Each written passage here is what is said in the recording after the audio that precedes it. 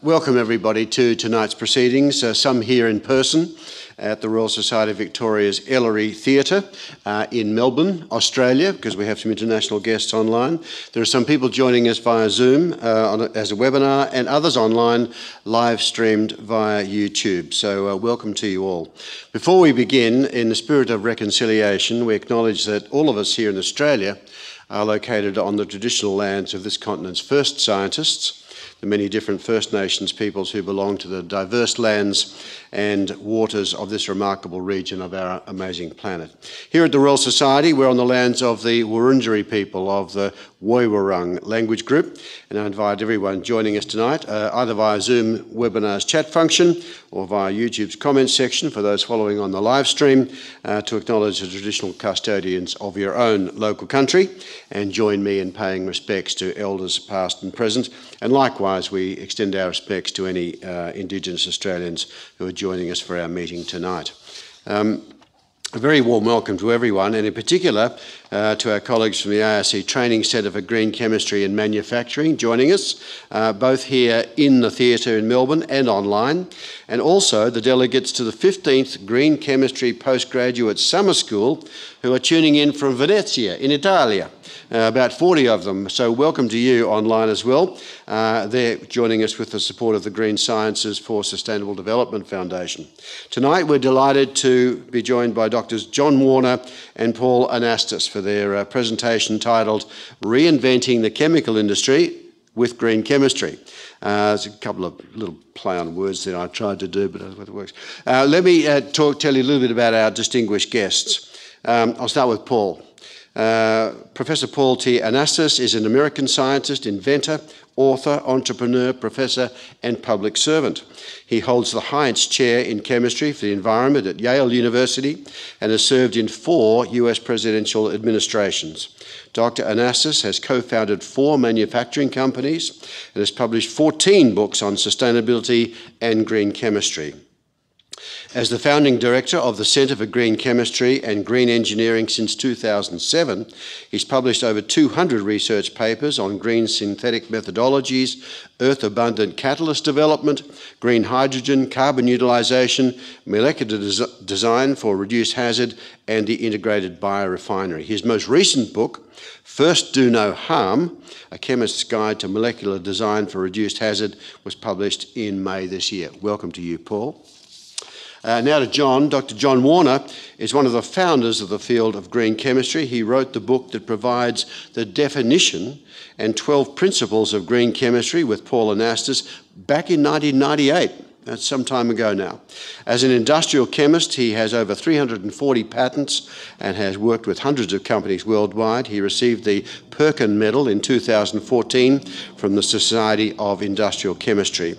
As an academic, he was full professor of chemistry and full professor of plastics engineering at the University of Massachusetts, where he started the world's first PhD program in green chemistry is over 120 papers in non-covalent derivatization, polymer photochemistry, metal oxide semiconductors, and green chemistry. Uh, last year, he received the August Wilhelm von Hofmann Medal from the German Chemical Society, and in 2004, the Presidential Award for Excellence in Science Mentoring from the US National Science Foundation and President George W. Bush.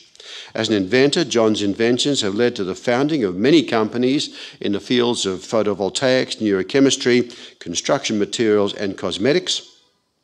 In 2016, he received the Lemelson eh, Lemelson Invention Ambassadorship from the Lemelson Foundation and the American Association for the Advancement of Science. John's a member of the Club of Rome.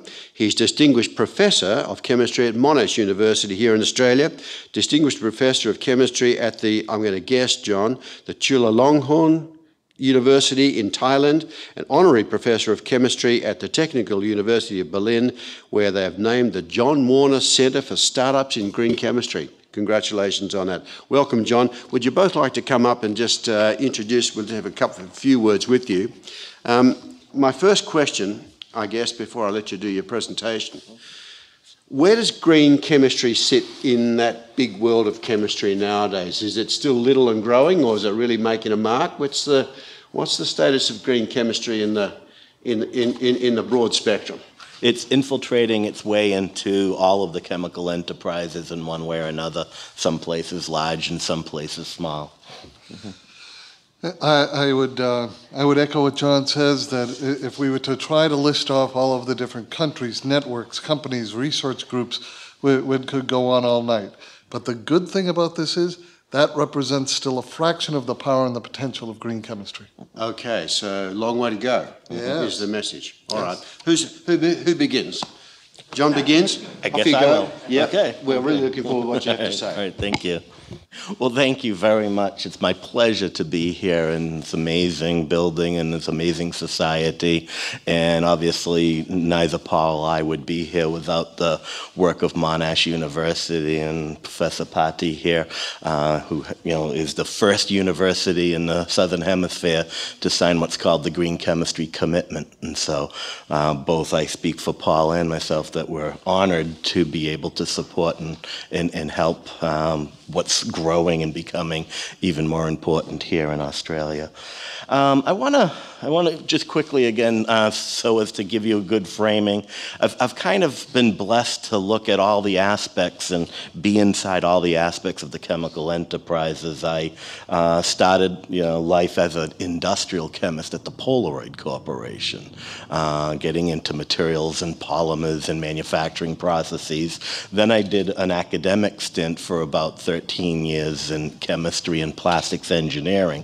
And then I was blessed to have the opportunity create my own research institute called the Warner Babcock Institute for Green Chemistry.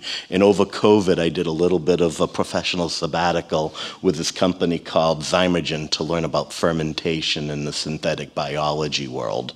Um, over this time, I've worked with many, many companies. The, these companies here in is in the public domain, patents that I have issued and worked with them. Then name this many other companies that haven't gone public yet that I can't I can't describe, and have been blessed to start a bunch of different companies uh, to show the power of green chemistry, the way to accelerate uh, a concept into the marketplace. You know, Paul and I have been at this for a very long time. I think the first, you know 1991ish time frame. Uh, the book came out 25 years ago. Um, we the the world's first PhD program in green chemistry was in 2001. Beyond Benign, the nonprofit education organization in 2007, and the what we call the Green Chemistry Commitment's 10th anniversary. And just to show how long we've been at it, these young young people here have been been been you know shoulder to shoulder for a very long time now. But but but here we are you know, and there's so many approaches to sustainability we hear about responsible care, safe and sustainable by design, resilient systems thinking, limits to growth, the UN SDGs, circular economy, biomimicry, ecology of commerce, cradle to cradle, planetary boundaries, and green chemistry. It's almost like there's so many different approaches. What makes me so sad right now, we're in such a polarized society. Every time someone says, oh, this is the right approach and this is the incorrect approach, or this one's better and this one's not, you know, the world is facing so many diverse problems, and we humans are such a diverse group of people. If someone wakes up in the morning and one of these approaches speaks to them, rather than explain to them why they should be doing something else, we should just kind of find a way to work better together and mutually support one another. And what that requires is us to take a step back and look at the materials economy and the materials ecology through a, through, a, through a different lens. And so the way I like to describe it, we take natural resources and through extraction we make molecules and ingredients. Then we take those molecules and ingredients and we synthesize materials and components. Then we take those materials and components and we manufacture products. And if we do a very good job, those products stay in use and reuse for a very long time. But inevitably, we have to turn those products back to materials and components through mechanical recycling, through what I call the assembly disassembly system. Then we have to take those materials and components and revert them back to molecules and ingredients through reprocessing, what I call the materials metabolism.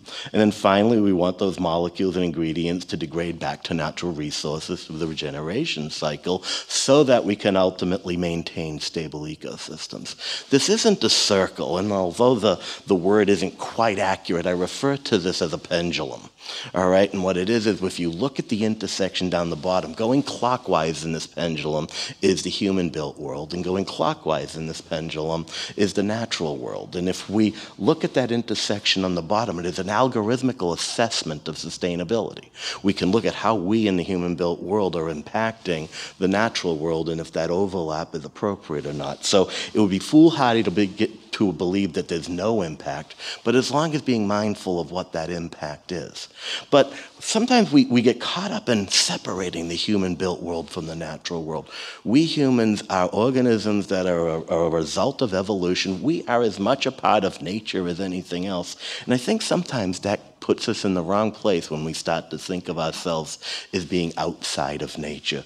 So let's look at these five systems through the lens of nature versus humans, okay? So the first one is use and reuse. Okay? Think about something like a, a, termite mound. Termite mound networks can be seen from satellites in space. These termites manufacture a concrete from their saliva using pebbles and rocks that make a construction material. That termite mound will last over a century after the termites are long gone. And so here, a natural species creating a, a, a durable good that lasts for a very long time after they're done using it. Okay? Then there are things like hornets' nests and bees' nests that are somewhat durable, but a little bit less. And then there are things like this, this hermit crab. The hermit crab, he, he, he goes into that shell. He didn't make the shell, he didn't manufacture it. He uses it until it gets too big. And then when he gets bigger, he leaves that, finds another one, and then when he gets bigger, he finds another one. And so the hermit crab isn't making the, that shell, but is using it over and over again. Now, we in the human built world, we have durable parts that last for a very long time, like automobile parts or playground parts. Or we have some things that are cups, you know, that, you know, that we want to use over and over again, use and reuse. Now, the hallmark of the station, if we put on the lens of thermodynamics and take a step back, is that we have, we want to maintain the structural form of these products, and we want to maintain the chemistry. And so long as we can maintain the form and the chemistry, we can stay in that use and reuse circle forever. But that would violate the fundamental rules of thermodynamics. There is this thing called entropy. And inevitably, something's going to happen. When that happens, we go counterclockwise on the pendulum to the next system, the assemble and disassemble system. In nature, there are many species of birds and other animals that will pick up stuff from the ground, twigs and leaves and branches, and build a nest. And then they will have the eggs, the chicks will go off. Now, interestingly enough, those birds may come back to rebuild the nest. But they won't use the same nest. They will disassemble it. They will toss it all out and then go back and maybe pick up those very same pieces. But there's a pre programming to assemble and disassemble over and over again. Go from twigs on the ground, branches on the ground to a nest, and back and forth. Now, we humans do the same thing in many areas. Plastics go into any emergency room in a hospital. Look at all the plastic parts that are in there. What do we do? We take those plastic parts and we break them down into pellets, then we re injection mold and we we make new parts, then we break them down and we make them into pellets. And the same thing in the paper industry. We may have sheets of paper that we grind up in pulp, and then we'll take that pulped paper and remake sheets. So again, assembling and disassembling. Here, the hallmark of this station is that we're allowing the structure to change. We are, in fact, changing the structure while maintaining the chemistry. So as long as we can maintain the chemistry and allow the structure to change, we can stay in that loop forever and ever but again, it would violate the fundamental laws of thermodynamics and this thing called entropy that comes up. And every time you mechanically recycle a fiber or a polymer, there is a good chance you're going to break it into pieces. And at some point, you get into such tiny pieces that you've lost the mechanical properties. At which point, we have to go to the next station in the pendulum. What I am favorite, my favorite pen, part is the apex of this pendulum, the materials metabolism. Okay, now the materials metabolism is real, really kind of interesting because, you know, I'm going to use as an example one of the banes of my existence. In my house, we have these three things. Okay, these things offer no value to society. They consume food, leave hair everywhere, but somehow make my wife and daughter very happy. And so, but I, I don't know. Well, anyways, these things, what do they do when they eat food? When, when an animal, an organism like us, eats food, what do we do? We take large molecules and through catabolism, we turn them into small molecules, right? We take proteins and we make amino acids. We take carbohydrates and make sugars. Take fats and we make fatty acids. But that's not all. Think about when you ate lunch today. You're sitting and you're eating your lunch, okay, and you're breaking big molecules into small molecules, but at the same time, you're also doing anabolism, creating those big molecules back again. So at the very moment that you're eating, you're growing hair, you're growing fingernails, you're growing blood cells. So nature and biology have combined the assembly and the disassembly of molecules in the same time at the same place. We humans, can't even think of anything in the human built world that approaches that, but that's not all. Also, what's happening is energy, right? Food is fuel. We're not only making materials, we're making energy. And so nature has not only um, looking at the disassembly and assembly at the molecular level, but also harnessing the energy. Most things in biology are coupled with the magic molecule adenosine triphosphate. Those five negative charges of you know, negative charges tend to repulse each other. And so there's a whole lot of potential energy there. So what happens is as in biology we consume food that gives gives off energy exothermically, somewhere there's a coupled reaction that pushes those phosphate groups together. And that's charging our molecular battery.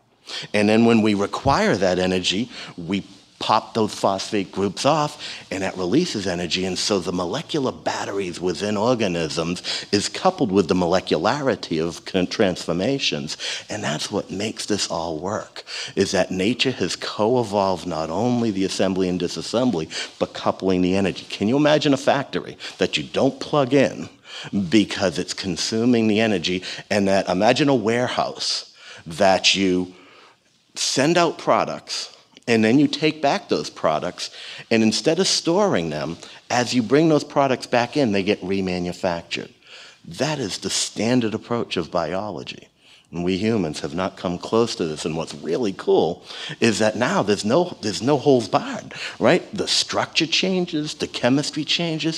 So this is the bastion of future innovation and creativity. If you ask me, where do we have to go in the chemical sciences? We have to take a bit of humility and instead of saying, wow, our 150 years of chemistry textbooks are really awesome, she said, well, nature has written a textbook for 3.8 billion years. That's a pretty good R&D process. Maybe with a little bit of humility, we should be looking at nature and figuring out how nature does things. And oh my goodness, what can we do next? All right, and so now we're at the apex. Let's go down the, the natural world we want to essentially have things degrade and things like that. And, you know, in nature, what do you, you got a beaver that is going to, you know, cut down a tree to make a dam, or bees are going to extract pollen and things like that. Nature does this. Now, our human extractive things, mining, forestry, and petroleum, I don't feel that it is impossible for us to improve these things and become more sustainable. In fact, I feel we can do it with a little bit of humility and a little bit of learning from nature. We can change this, but right now we've got a long way to go to get these into a truly sustainable, natural uh, kind of rhythm. And finally, close your eyes go to your happy place. We all kind of know what we mean by the natural ecosystems. So here we are, we have the final thing, and as a member of the Club of Rome, we've really, you know, Donella Meadows back in the very early 1970s began the whole field of systems thinking. thinking in systems has been around for 60 years, and the, it, what I feel is when someone draws a map of a system, we must be very conscious of the fact that any representation of a system must, by definition, have information loss. And so we have to be willing to realize that no one's smart enough to get this quite right. And there's always going to be things missing. So, for example, when we do the assemble and disassemble, there is inevitably going to be leakage. And when that leakage happens, it creates a porosity in this interface and we lose a little bit of sustainability. When we do materials metabolism, there's going to be leakage, and there's more porosity in that interface with a loss of sustainability.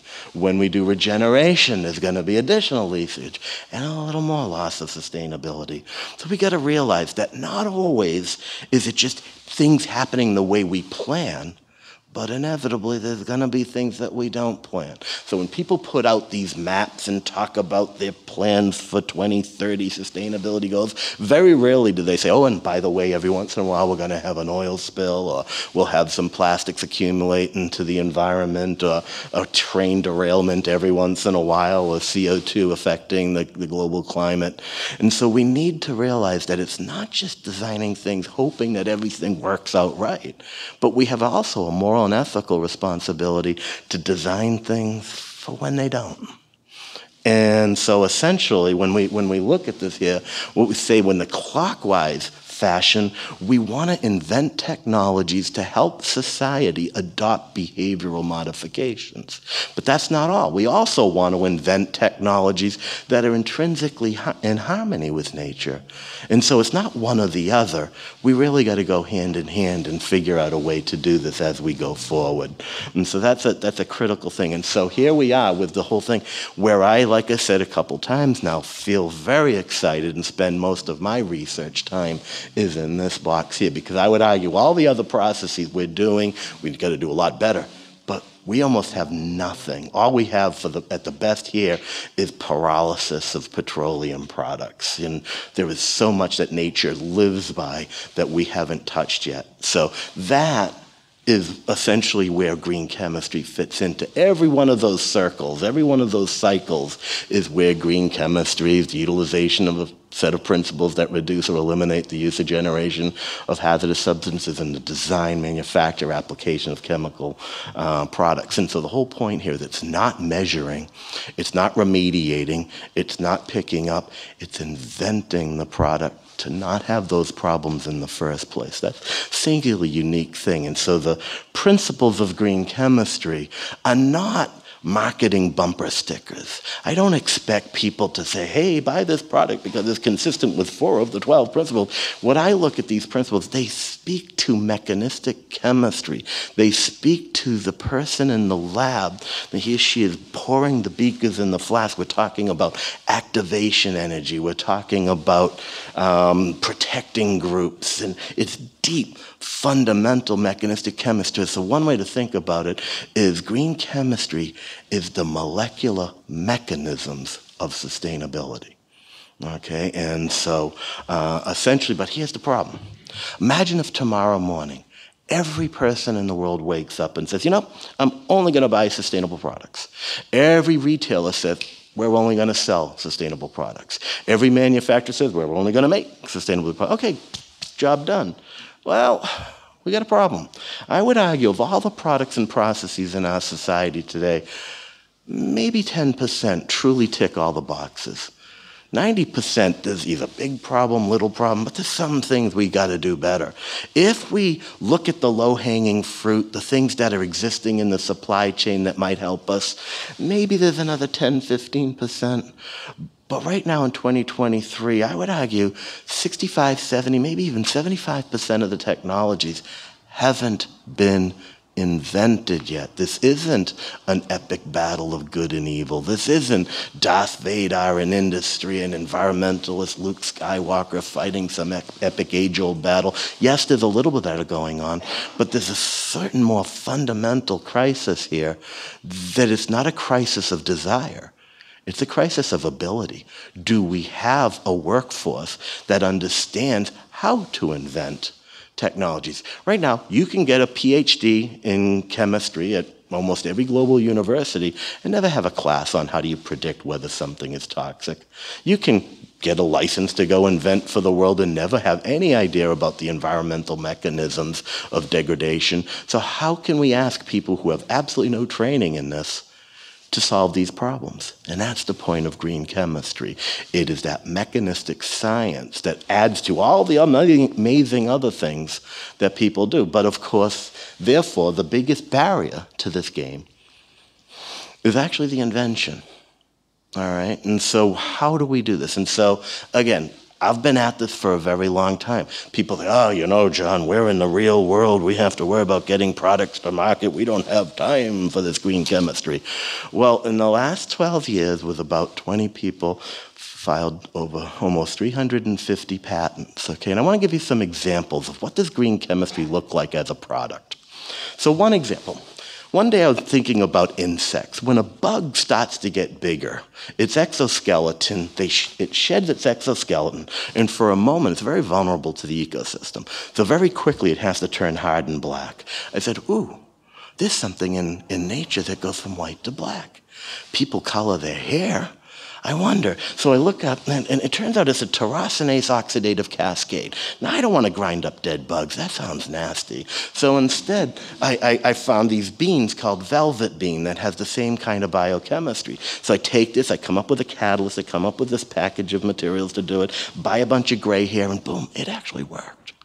It doesn't fade, it doesn't wash, it's all edible ingredients.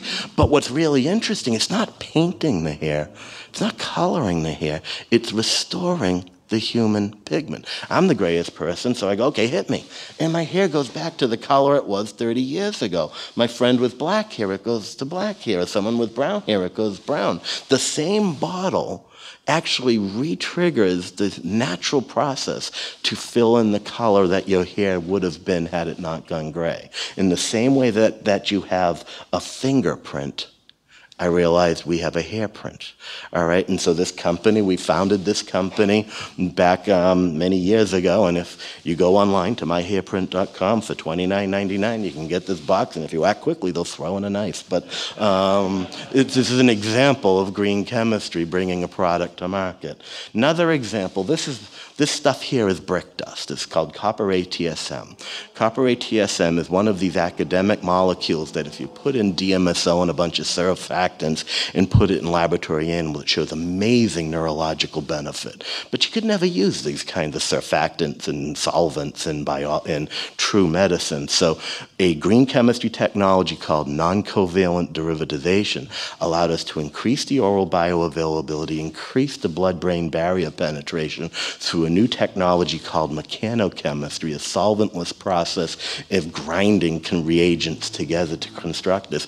And what ended up happening, this worked so well that we started a company called Collaborative Medicinal Development in partnership with the University of Melbourne. We very quickly went through phase one, phase two, phase three. We're in phase three clinical trials for what is one of the most promising ALS drugs going on. Still a long, long way to go, but um, this is really exciting and would not have been possible without applying the principles of green chemistry to the design of this thing.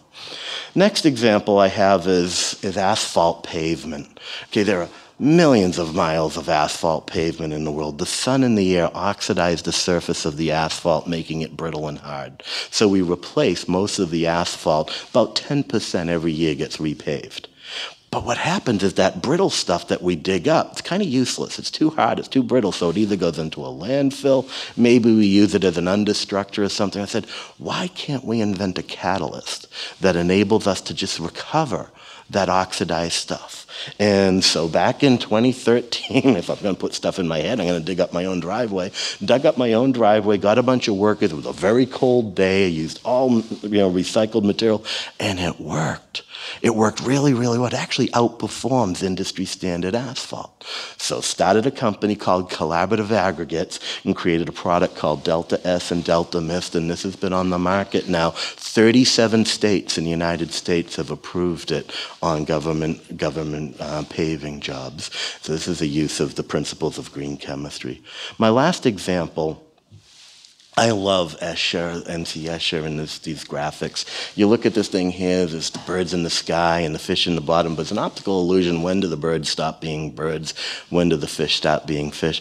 There's a lot of boundaries in nature that are fuzzy like this and not discrete. And so I realized that the electron transfer in a mitochondria matrix is very fuzzy with a bunch of little jumps. So I said, oh, I wonder if I could synthesize a semiconductor and make the semiconductor kind of optical illusion turn into a chromophore and have the chromophore kind of fuzzily turn into an electrolyte. Could I make a photovoltaic system? So I made a bunch of photovoltaic. It turns out it is the most efficient photovoltaic system kind of in history. And so very quickly started a company called Ambient Photonics and just recently, about six months ago, Amazon invested nearly $50 million and we're in manufacturing in California uh, for a, a low light. This isn't for outdoor use, for any fire detector, smoke detector, any indoor product that requires oftentimes changing a battery, this constantly charges the battery instead. So for all these indoor uses. So these are four examples of green chemistry in the real world, and there are many, many more examples. But the last thing I want to leave you with is the big thing that worries me right now and keeps me awake at night is we still got a long way to go. And most universities still aren't teaching how do you anticipate negative impacts on human health and the environment when you invent stuff? The definition of green chemistry. And so Dr. Amy Cannon, my wife, and I, back in 2007, started a nonprofit university organization, and we asked chemistry departments at universities to sign a commitment that they will bring the principles of green chemistry into the required curriculum, not as an elective, but to change the fundamental concept of what it means to be a chemist, to be a material scientist. I'm proud to say that over 120 universities worldwide have signed this commitment. And again, Monash is the first university in the southern hemisphere to do this. This is where change is going to happen. It's not going to happen by wishing and dreaming and hoping. We need people who have the fundamental skills. We need to teach those fundamental skills. And I'm super optimistic because it is happening. We've spent time here in Australia and Cairns and Brisbane and, and Melbourne. The next generation refuses to do it any other way. We just got to put together the willpower to give them the tools and just watch amazing happen. Thank you.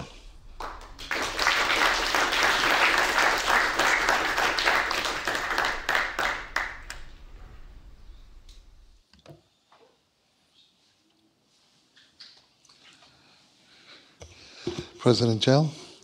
Royal Society Victoria, Tony Patti, Monash.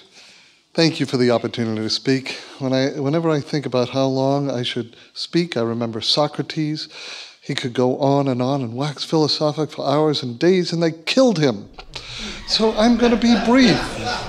I'll keep it brief. But I will, I will note that um, one of the things that uh, we need to recognize is that the old saying is that if you do what you always do, you're going to get what you always got.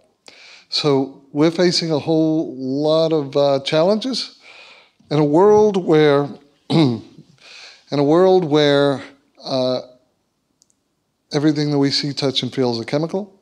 Everything is is matter or energy, and what green chemistry is about is how you use um, use these principles to redesign the material basis of our society and our economy in ways that even touch the materials that are used to generate, store, and transport our energy. As Einstein famously said, what did Einstein famously say? Oh, I remember what he said. Einstein famously said problems can't be solved at the same level of awareness that created them. And so, if we're going to take on these great grand challenges, it's unlikely that we're going to just tweak around the edges and make things a little bit less bad. We have to take on these challenges with a new perspective. Looking at the same things from a different angle with a new perspective can reveal many uh, different approaches. You might say that this is a pile of trash, but if you shine a light from a particular uh, vantage point, you're going to see that it's actually a couple enjoying the evening together. If you look at this pile of toys and uh, shine a light from a particular perspective, you're going to see that it's a child looking at an evening star. If you look at this stack of coins from a particular perspective, you'll see that it's Atlas holding up the world. And it's not always just one simple perspective. You can look at the same situation from many perspectives. So, this is wonderful art but what does this have to do with the challenges that we face? The challenges that we face are uh, complex, often egregious. When we look at abject poverty and despair, if you look at it from a different perspective, as was done, let's call it 10 or 15 years ago or more, it can be looked at as a trade advantage due to low labor costs, which raised well over a billion people out of abject poverty. You can look at this as industrialized state of development, transportation, rail, roads, energy, shipping, or from a different perspective, it can be viewed as entrenched decaying infrastructure that actually impairs the ability to embrace innovation because of the invested pipe in the ground and stranded assets. You can look at this in the old ways and uh, quite tragically, in some cases, insulting ways of disabilities or handicap, or thanks to the work of Hugh Herr at MIT, it can look, be looked upon as a competitive advantage. And everything from ballroom dancing to sprinting to rock climbing. So, what does this mean when we say we look at the same problems differently and transform our problems into potential opportunities? Well, one of the old ways that we've gone about things is captured in this paper from um, 1972, so 51 years ago, by P.W. Anderson, the great physicist, who talked, uh, and more is different, talked about the reductionist hypothesis.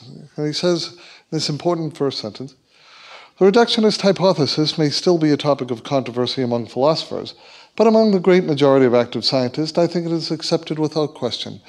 51 years later, I would agree with that.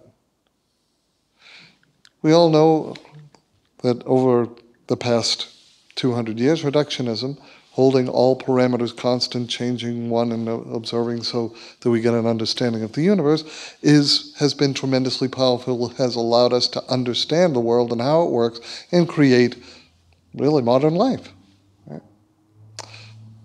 The most important sentence in this paper was this one. It says, The main fallacy in this kind of thinking is that the reductionist hypothesis does not by any means imply a constructionist one. The ability to reduce everything to simple uh, fundamental laws does not imply the ability to start from those laws and reconstruct the universe. So, what does that mean? It means that our ways of understanding, of analyzing, of breaking apart our complex problems in order to create a model of reality is not reality itself. And what that results in, tragically, is unintended consequences. Because while we can have so many wonderful inventions, accomplishments, breakthroughs, and everything from, from energy to medicine to, to materials, et cetera, et cetera, it's that construct that is contributing, contributing, not alone, but contributing to many of our unintended consequences and sustainability challenges. So, we have been miraculously good at solving problems. No doubt about it, as a species, the past 200 years or so, we have taken on some, some amazing problems and come up with tremendous, tremendously innovative solutions.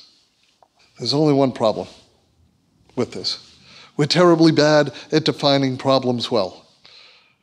Getting the problem statement right has been a, uh, been a difficulty for us. So we don't want to just generate cheap energy. We want to generate energy that doesn't change the only atmosphere and climate that we have. We don't want to generate um, medicines that um, Uh, extend life and improve quality of life, we want to do it in ways that don't actually disperse carcinogens and other poisons into our environment. We don't want to grow more crops. We want to grow crops in ways that aren't going to make our waters and our soils toxic. I could go on and on. So we haven't fully developed our problem statement capabilities. One example, my favorite example, is that of efficiency. Now, I'm going to ask you how many people know that we've all been taught that efficiency is a good thing. If, could you raise your hands if you think efficiency is a good thing? Wonderful. Yes, efficiency is indeed what we've been taught is a good thing. And I'm here to tell you that efficiency has no value, it has no desirability, and it has no nobility. Oh my goodness. People are not happy with me right now. All right. So you want me to prove it to you? Right. Okay, that's fair. That is fair. Okay. So would you want a very efficient criminal, very efficient robber? Anybody? No. Nobody. Okay. Would you want a very efficient virus? I know the answer to that one. Nobody wants a very efficient virus, very efficient carcinogen, very efficient poison. Well, of course not. Of course not. So, what's the point? The point is that value, the desirability, the nobility of something doesn't come from whether or not it's efficient. It comes from the action itself. The desirability of an action comes from the action itself and no amount of efficiency is going to change it from undesirable to desirable. So, why is this seemingly trivial important, uh, point so important? Well, it's because we've been spending the last, let's call it 50 or 60 years, trying to make fundamentally and inherently unsustainable products, processes, and systems more efficient, whether it's petrochemical refineries, whether it's um, uh, diesel engines, whether it's uh, urea formaldehyde, um, uh, foam insulations, you name it, whatever it is. These things are not going to transform something bad into something good, something unsustainable to something sustainable. It might preserve them in the marketplace. It might make them more legally and socially acceptable, but it's not going to change their inherent nature. In other words, efficiency will help you do the thing that you're doing better but it is not going to help you do a better thing. So we have this great, grand challenge. Whether you want to talk about climate change, whether you want to talk about resource depletion, whether you want to talk about biodiversity loss, we could go on and on. We're talking about a civilization level wide challenge, transformation. But the good news is that this, this civilization level transformation has happened before in history. Whether it's the emergence of civilization and agriculture in, Mesopotamia, whether it's the religious reformation throughout Europe, the scientific revolution, the industrial revolution, we could go on and on. This is where the, the uh, where the organization, the structures of society uh, actually uh, transform. And when they transform, what accompanies this, this these shifts, these great transformations, is a shift in thinking about certainly at least three fundamental questions. What is knowable and unknowable? What is possible versus impossible? And what is our role in the universe vis a vis a divine being or the universe itself? I'm going to suggest that there are, even looking only at technology forces in play, that there are forces that have the ability to change the answers to these questions. And I'm going to start with um, big data analytics, big data synthetics. You know, it was only, um, I, I, suppose, about what, six years ago or so, that for the first time in history, as I understand it, not being a data scientist, that we hit the first zettabyte of data almost an inconceivable amount of data. Exabytes are so trivial, you know, that's so yesterday. And at the time, Cisco Systems, the, the, the, giant conglomerate Cisco Systems, said, you know, it might have taken us over 40 years to hit the first zettabyte, but we're predicting it's not going to take another 40 years to get to two. We're going to get to two in about four years. Do you know how many zettabytes were produced last year? as I understand it, 93. So this explosion and how we understand the, the, the, the, meaning of data, the flows of data in order to get um, understanding and, and make it useful is something that is um, changing the way that it informs um, what we know versus what we can't know. I'm also going to, to mention that this ability for us to have ubiquitous, networked, integrated sensors to the point where sensors are small, so small they're referred to as, you know, basically sensor dust. They're so small, so cheap, fractions of a penny, ubiquitous and interconnected. Right now, I could probably look on my phone and uh, and if there were a marathon being uh, being run in Africa, I could tell you the heart rate of the winner in, in seconds, or I can tell you the average heart rate of all the winners. It, Again, it informs what's possible and impossible, knowable versus unknowable. 3D printing is no longer about little trinkets and gadgets and missing chess pieces and missing buttons. Now it's about a functioning, printing a functioning heart, a functioning lung. If that's not big enough for you, you can build entire houses and buildings from 3D printing. It changes what we think is possible and impossible. And of course, synthetic biology. If we walk down the street, of Melbourne and we ask people, is it possible to generate new forms of life? The vast majority of people, I think, still today will say no. I said, well, have we formed new, new life forms? I'll say no. But of course we have. Craig Venter and the Venter, Institute has done this over a decade ago. And there's many different, uh, with a minimal viable, uh, viable uh, genome. Uh, and of course, even, I guess about two weeks ago now, we have a proto embryo, not starting from a sperm and an egg, but rather from a stem cell. So, this idea of what's possible and uh, impossible, and yes, our role in the universe, of course, we have to mention generative artificial intelligence, which I won't talk too much about because it's all anybody's talking about these days. So, so when we start, I'm just going to suggest that any one of these trends, any one of these trends could change the way that we answer those questions, those three questions. And in combination, I would guess that none of us would venture how it can change the way that we answer those questions in synergy. So, in other words, great transformations come when we have new perspective and that new level of awareness that Albert Einstein talked about. So, what does this enable? As we take on the sustainability challenges, as we say we have to design with a new perspective, rethink the way we, uh, we create the material basis of, of our civilization. Well, part of this is thinking in terms of systems. When I say, when I was talking about reductionism, no one in their right mind, I don't think, would throw out the power of reductionism but it does need to be coupled with reductive integrative systems thinking. In other words, the kind of thinking that we do in our daily lives.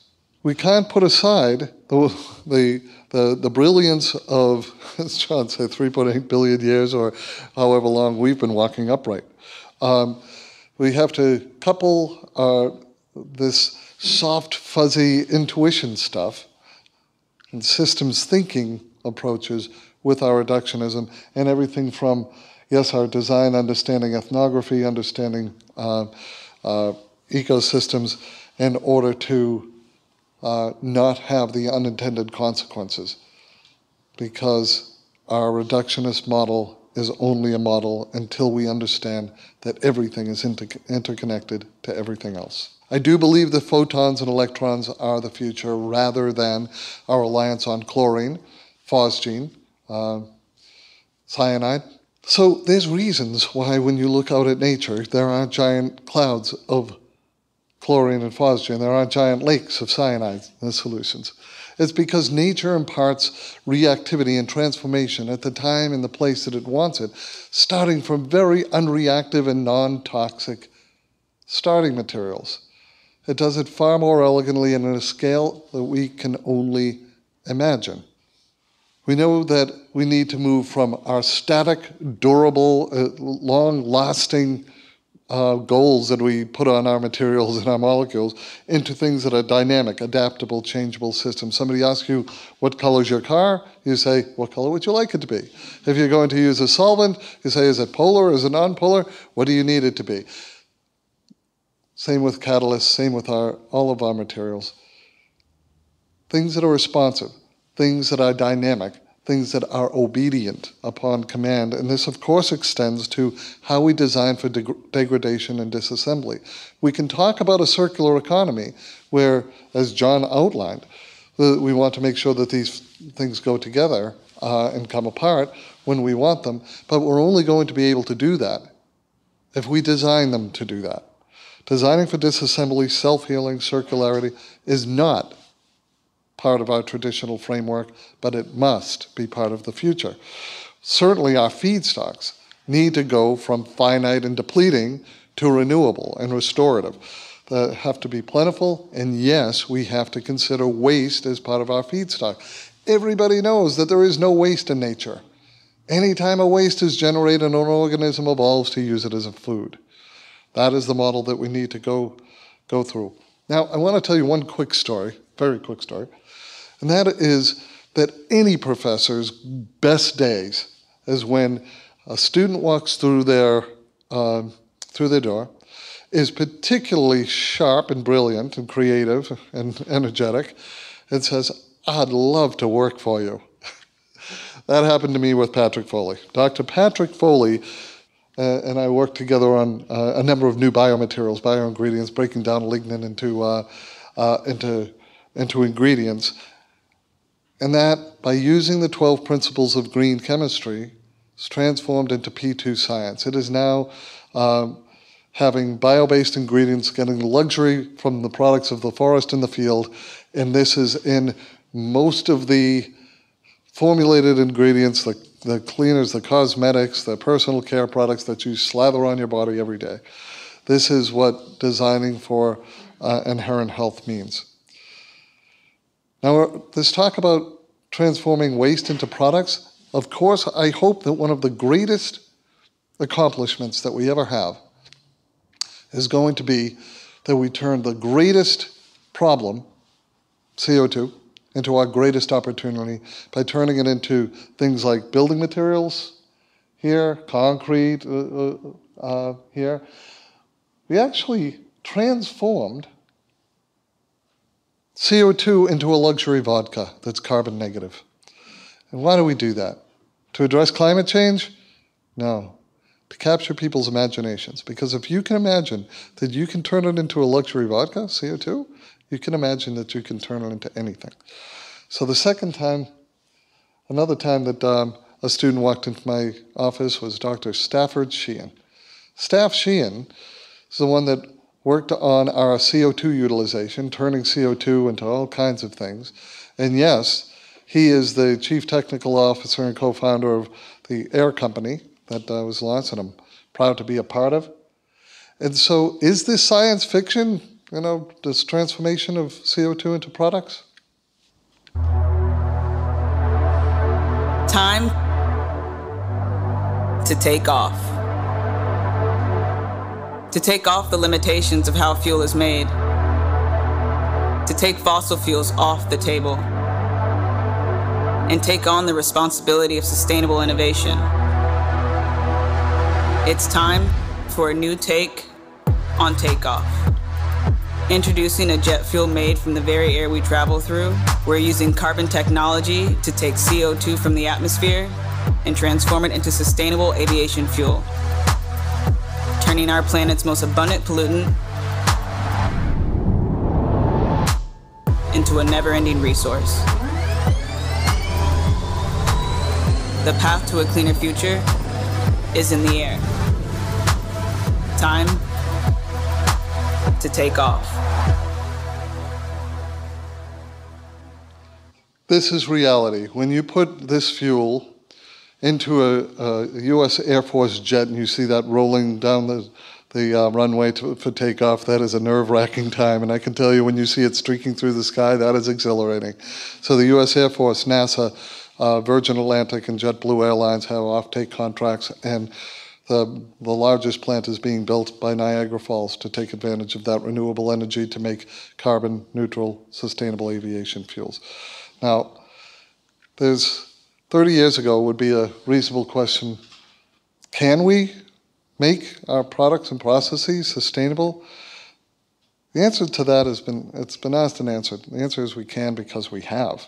Now the question is will we? Will we do it at scale? Will we do it with the urgency that's necessary in order to, to meet these? And to do that, it's going to take brilliant science and technology, but it's also going to take much more.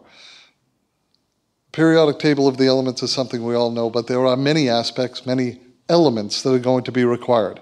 And those are going to go far beyond just science and technology. The metaphorical periodic table of these elements not only includes the science and technology, to get to these humanitarian go- goals of sustainable food, water, shelter. But it's also going to need these enabling system conditions. Everything from economic investment, new research programs, new metrics, new ways of, uh, uh, of, of, teaching, chemical uh, footprint, uh, new metrics, in order to meet these, these noble goals of zero waste and life compatible products and processes. This is what chemists and engineers do. This is what everybody should do because we're going to need all of these aspects to get where we want to go. I will say, I want to say thank you for, for your attention, and as a small gift for the invitation, this has been turned into a book. If you want to click, you can get this book in uh, a free ebook. And the reason that I'm the most optimistic person in just about any room that I'm in is because I fully believe this quote from Mahatma Gandhi that the difference between what we do and what we are capable of doing would more than suffice to solve most of the world's problems. It's been an honor. Thank you.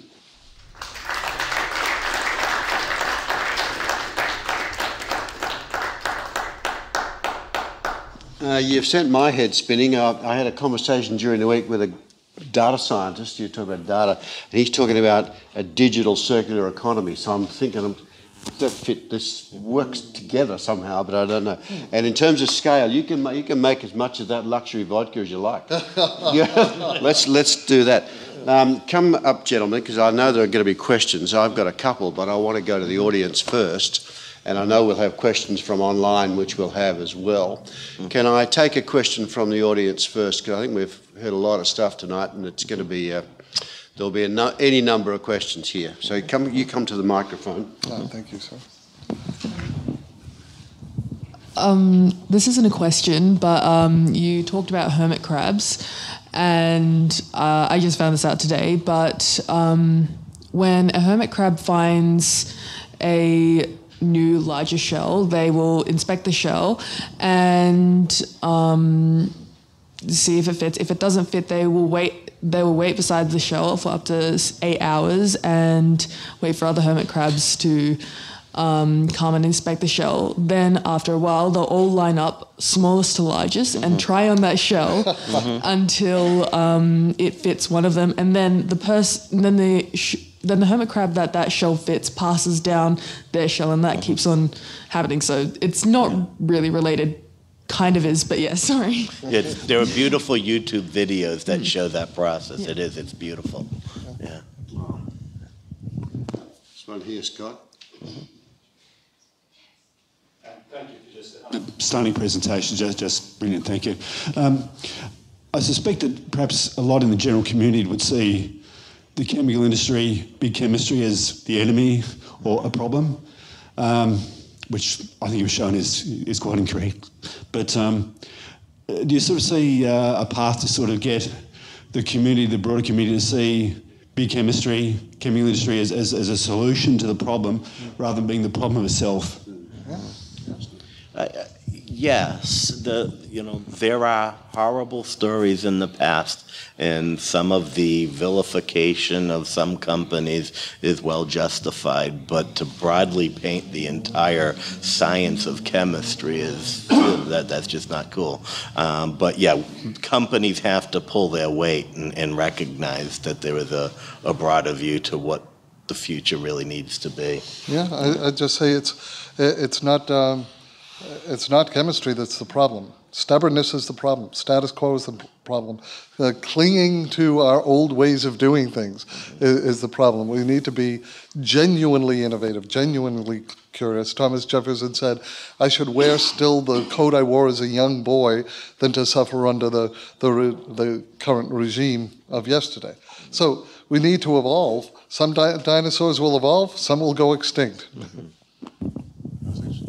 Uh, how, how specifically would you change the atmospheric carbon dioxide into uh, jet fuel or, or, any hydrocarbon? Sure. Uh, so uh, there's a variety of, of ways that can capture it. Capture it at the smokestack is the best way rather than trying to, to suck it out of the atmosphere, which is, a battle against entropy. Uh, So once you capture it, you then take uh, ideally hydrogen that you got from splitting water, especially seawater, into hydrogen and oxygen. You can then react the hydrogen with the CO2, and then you can generate uh, various types of fuels as well as many other types of molecules. I, I first heard that oh, 15 years ago from a group in Israel, and they were starting to do that. I don't know whether you know those guys, but I'm delighted to hear that it's really moved forward. The Weizmann Institute, is that right? Yeah. Yeah, the Yeah, Laughing, yeah, yeah. yeah, mm-hmm. yeah. Yeah, and again, that's a, a space where there's a lot to learn from nature because the, the best CO2 utilization device in the world is a tree. Yes. Proven, proven, proven technology. Yeah. At scale. On that, on that for a tree, mm-hmm. um, we've spoke about this many times in the past. Mm-hmm. When you look at Australia and trees and our propensity at the moment for fire, same in the, in Europe, same in North America, we get by pretty well here because we grow so quickly because our, our growing seasons. A lot of these pro- products you're showing us now are from trees or from lignin. Mm-hmm. The mills use that lignin for fuel. Mm-hmm. The mills are then talking about using um, rubbish, the household consumer waste, to feed their mills, to mm-hmm. feed the energy of those mills, and we go around that circle. Do we lose a lot of the potential recycling, sustainability, because we're burning that? And around the world, in certainly in, in Europe, they're importing mm-hmm. rubbish into Sweden now to burn those, keep those fuels going. So you look at packaging per se and how we are on packaging and how we try and do packaging. Mm-hmm. And each time we get to a point, 2007, the global financial crisis died again. Just before COVID, everything was going. Just before the Ukraine war, all the materials that we were looking at, the unloved materials, the materials that you could get cheap or cheaper, or they were mm-hmm. thrown away and reused, suddenly became popular again. Mm-hmm. And all of a sudden, the prices went up, and all the green chemistry went out of the window. All that information, all of that availability went out of the window mm-hmm. again. And it happens every 10 years. Yeah. You get to a point, and all of a sudden, you lose it.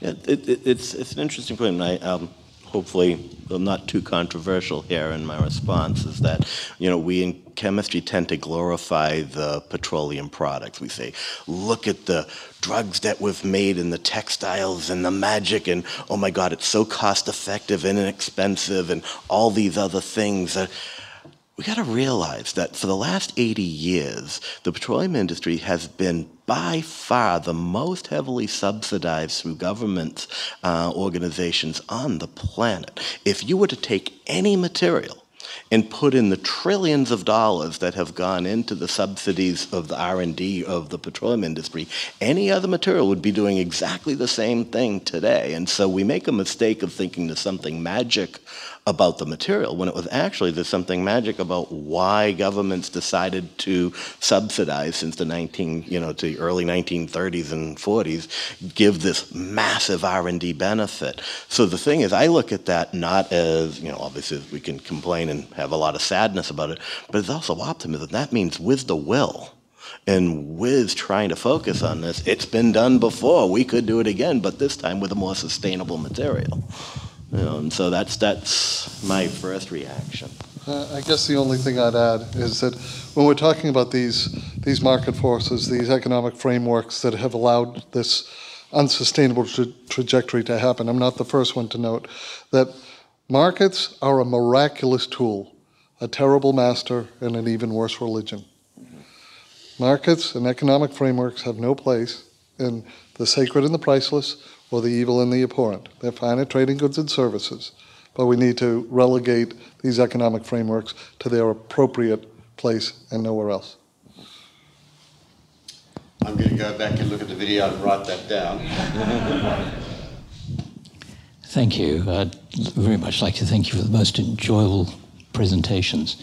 My, uh, I would be very interested in a commentary that you have in terms of the rapidly advancing technology along what the lines you're talking and the, the potential risks associated with that. Um, I suppose, uh, in a sense, where I'm coming from is lithium ion battery technology, and, for example, the influence on the structural stability of car parks.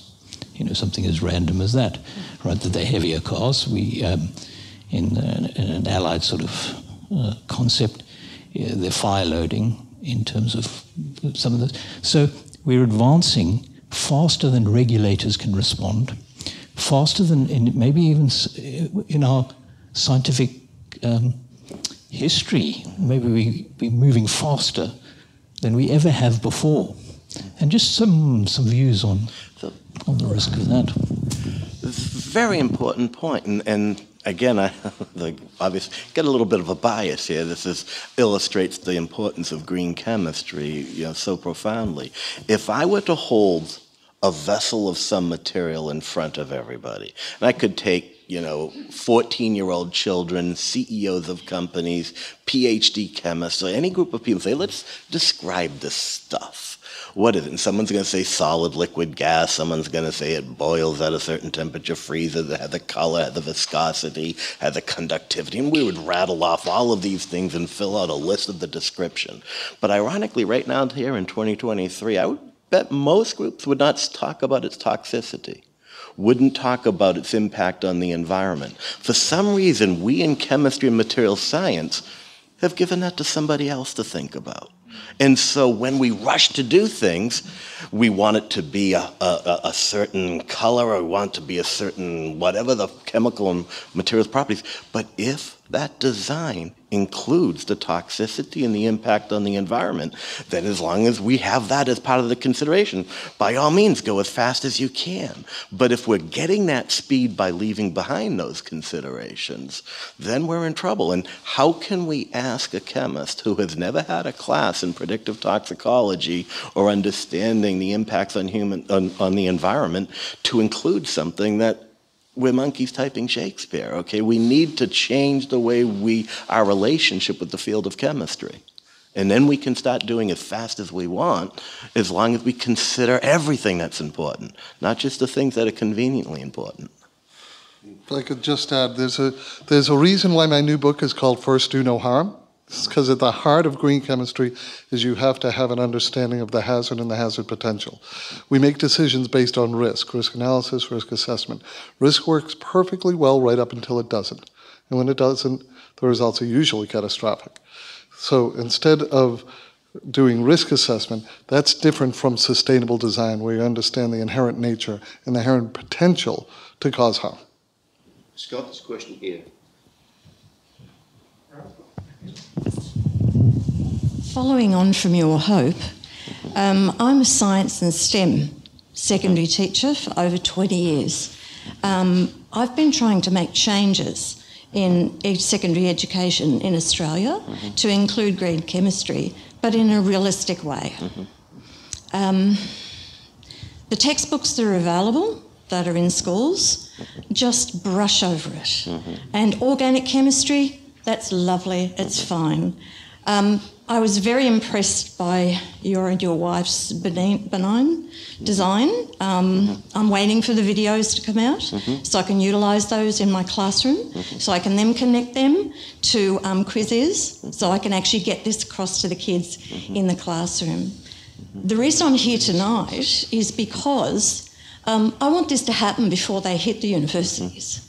I want STEM and science to be realistic. Yes. So you can hear in my voice. Yeah. Um, it's, it's a really big thing. And mm-hmm. when I teach the kids, and I'm in a 2,000 secondary children's mm-hmm. secondary school, um, and they love it. They go mm-hmm. crazy over green chemistry mm-hmm. when I teach it there. And I've got six teachers now who I've got on board. But how do we get that connection to come up from what I consider to be the grassroots? Mm-hmm. Because my biggest advocates are not mm-hmm. my wonderful kids who go to great universities like Monash mm-hmm. to teach STEM. They're the ones in my classrooms, mm-hmm. and it's the year sevens who've been mm-hmm. taught science, basic science in, sec- in a primary school, who come through, mm-hmm. and then I have the unique opportunity to be able to open their eyes to things like the toxicity in cosmetic chemistry.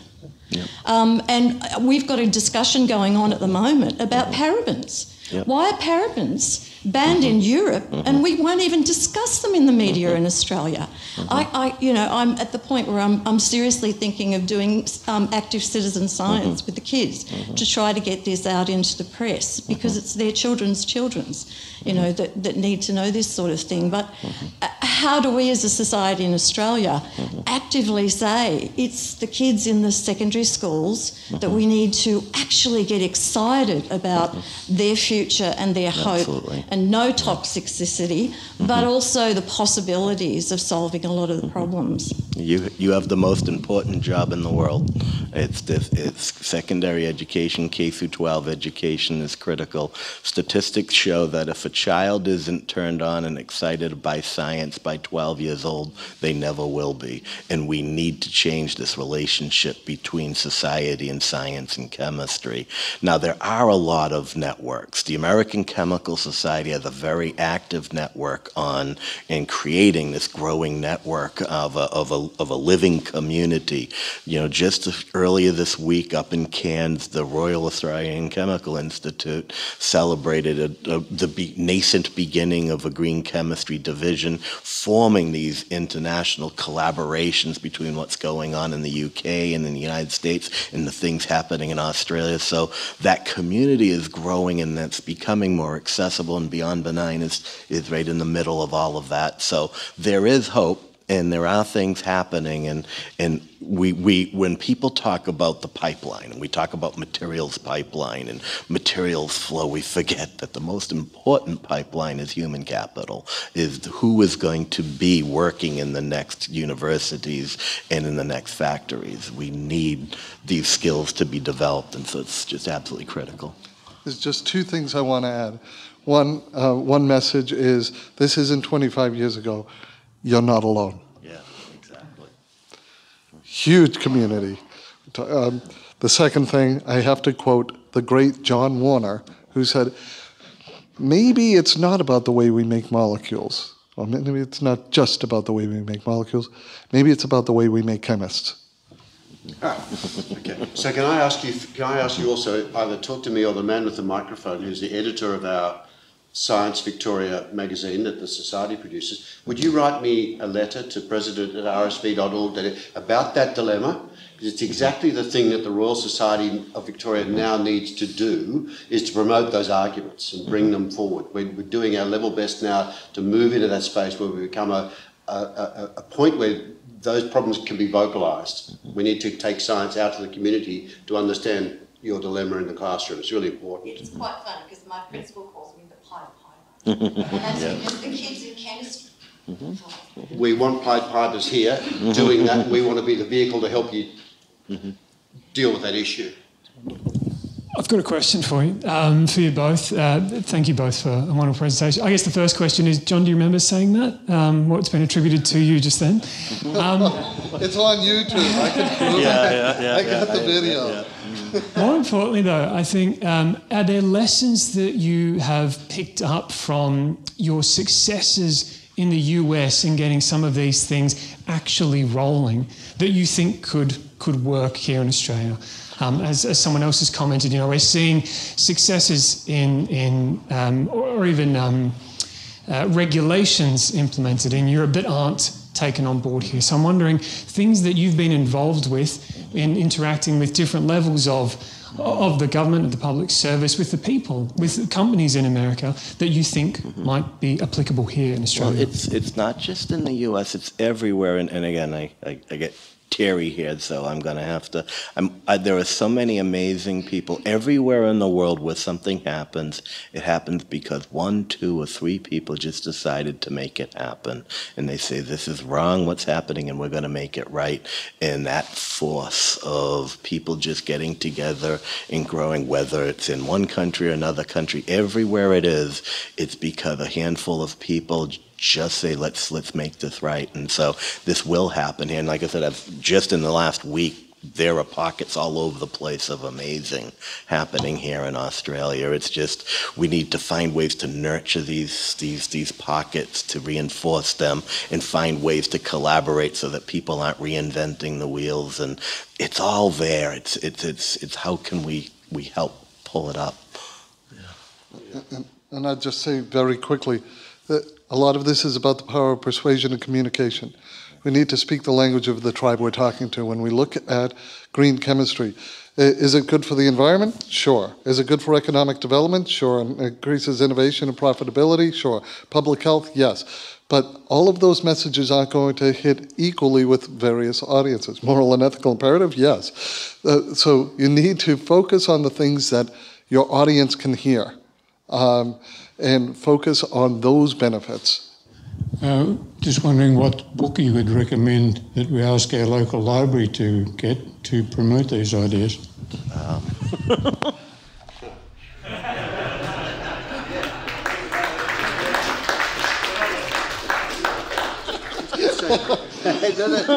You're allowed to do that here. Uh, Paul, Paul, Paul, you've described you, you actually described yourself, and you, you, you, you've both worked uh, with, admi- with political administrations. Mm-hmm there seems to be. I mean, I mean, that's another nut we have to crack as well, right? We've got to, we've got to change some paradigms about uh, how our government, your government, uh, mm-hmm. responds to the sort of things you're talking about. Yeah. What's your experience as a public administrator or a public servant in that space? Yeah. Uh, so one cannot underestimate the power of the status quo. Uh, the, to stop progress from happening. And, and, there, there are techniques to, uh, to, to make things happen um, because it's usually that there are uh, there's uh, various threads. So if, if you are getting stopped by people saying, oh, this is, this is not able to be profitable, then you have to show actually these new companies. So one of the things that we did years ago, John mentioned, we established the Presidential Green Chemistry Challenge Award under President Clinton. And he did this in order to not just pat people on the head, but to show a model that, hey, these companies are making a lot of money off of doing green chemistry. So it takes the argument that, well, you can't make money doing green chemistry. What? You're making a lot of money doing green chemistry. Who established science awards, so people say, "Oh, that that green chemistry is soft, fuzzy, not really as rigorous." Hold it. These Nobel Prize winners, what three of the last four Nobel prizes, the the committee has cited this as a benefit to green chemistry and et cetera, et cetera. So you start picking out what it is that the status quo is using as its uh, as its strategy, and you go after that. Nice. Another question here. Yeah. Um, is it on? Right. Okay. So um, I'm 15, so I'm someone who's currently like being educated about different sciences, and so I was just wondering, as um, as infrastructure changes and science changes and the status quo changes, what do you think is the most important part or aspect of green chemistry that we need to be educating others about or that we need to be implementing into chemistry or just into general science? Yes, please. So the first thing is to understand that it can be done. Mm. And that it won't happen by hopes and dreams and wishes, but it's going to be happening because of people like you and that to make a sustainable future, you can't sit on the sidelines and hope that it happens. It's to say, okay, I want to participate in this, and it's going to have to take a, a, a, lot of collaboration, a lot of work, but to say, okay, how it? You know, I, I, a lot of people, I, I, I'm always surprised when, when people come and say, I work for a company that, you know, I, I can't do green chemistry. Then don't work for them. All right, you have a choice of what you're going to do. And you're either going to bring about the future that you want or you're going to support the status quo. Don't underestimate that power alone. That if everybody just did the right thing, we will change the world. And so, but recognize that and make sure that the peers do and see that path to how to feed your family, do the things you need to do to exist in this life, but do it by doing the right things, not the wrong things. Yeah. The status quo isn't just going to change. You're going to change the status quo. Uh, so the only way to be respected by the future is to be a heretic today. You can't go. Nobody's going to, from the future, is going to look back on any of us and say, "Oh, they were so great. They supported the status quo." No, we know that change is necessary, and we have to be part of that change. There's a really famous saying by Isaac Newton. He said, if I can see the horizon, it's because I stand on the shoulders of giants. And everybody said, Oh, isn't that wonderful? Isaac Newton was so magnanimous in thanking those that came before him. Implicit in that statement was that he was saying that the giants couldn't see the horizon. Right? So, what does that mean? What that means is no matter how much you respect your teacher, your mentor, your professor, your boss, whoever it is, whoever's your idol, they can't see the horizon. You can. I'm going to take that as a perfect spot just to wind up. These guys have done an enormous job. Don't go away. Uh, I, I was looking forward to tonight, uh, and I've immensely enjoyed it. It's gone way beyond. We've, you've made my head spin, as I said. I'm going to invite uh, Tony Patti now to come up and uh, offer a vote of thanks. Thank you for being with us. Oh, thank you. Thank you. Thank you, Tony. Thank you, Rob, and I think everyone will agree. We've heard a holistic and complementary message from both John and Paul tonight.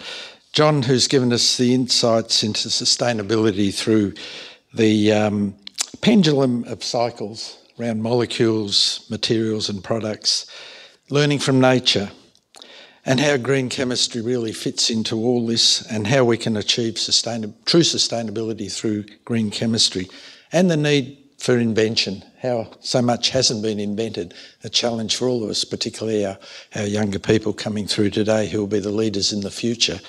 And from Paul, um, the importance of looking at things in a new perspective. Um, warned us about the unintended consequences of things that we've been doing. Stating our problems clearly. Sometimes, as Paul said, the problem is incorrectly stated told us about efficiency, the limitations of our actions, and alerted us to the need to look at the value of the action, the need to do a better thing. Forces of transformation we heard about tonight.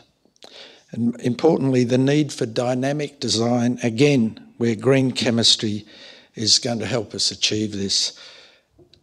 We really thank John and Paul for this book.